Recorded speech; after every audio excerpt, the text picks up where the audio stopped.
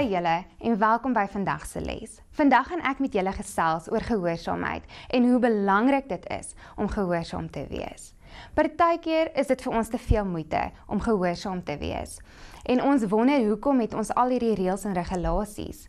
Ons moet huiswerk doen, ons het huistaakies en boonop al moet ons al hierdie reëls en regulasies in ons ouers se huis nakom.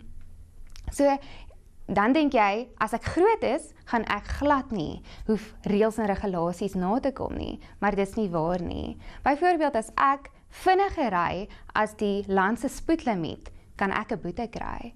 Nou dan dink ons aan die Bybel. Die Bybel is vir ons baie keer 'n groot dik boek net vol reëls, maar dis ook nie waar nie. Dit is eintlik 'n boek vol van liefde en hoe God eintlik wil hê ons as sy kinders moet lewe. So vandag gaan ek met julle 'n voorwerp les doen om gehoorsaamheid makliker te maak. So vir hierdie voorwerp les het ons 'n leebottel nodig, 'n slegte keusespapier en 'n goeie keusepapier, asook 'n pyltjie. So ek gaan vir jou Anay vra om ons nou te kom help. So hierdie hierdie bottel verteenwoordig jou lewe. So baie keer met ons sondige natuur sal die pyltjie meeste van die tyd na slegte keuses toe wys.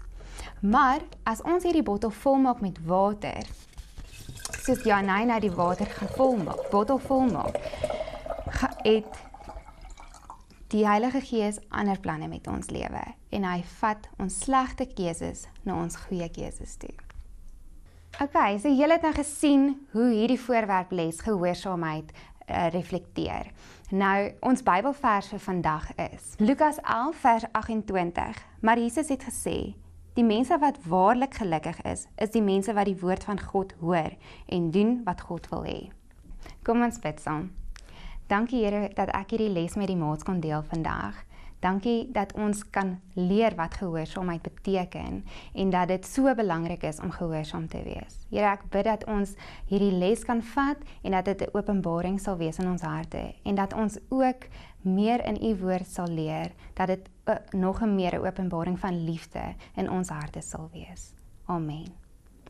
So baie dankie dat julle vandag ingeskakel het, maats. Ons is so bly julle is deel van dit gewees. So ons gaan 'n bietjie van 'n breek vat met ons aanlyn dienste en ons is hopelik weer terug in April.